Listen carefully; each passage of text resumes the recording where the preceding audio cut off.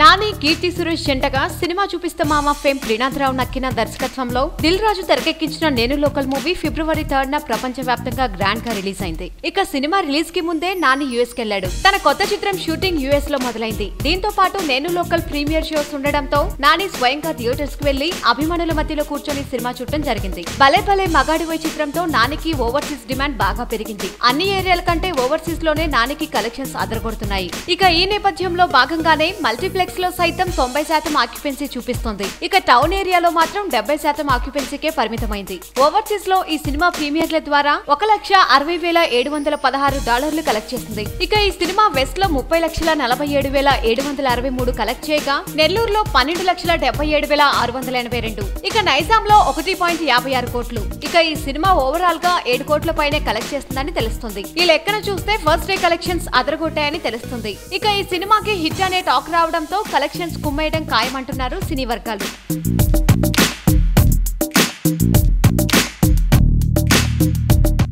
వీలైతే లైక్ కుదిరితే కామెంట్ పెట్టండి.